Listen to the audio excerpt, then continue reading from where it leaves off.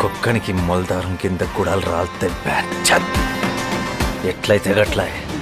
చూసుకుందాం.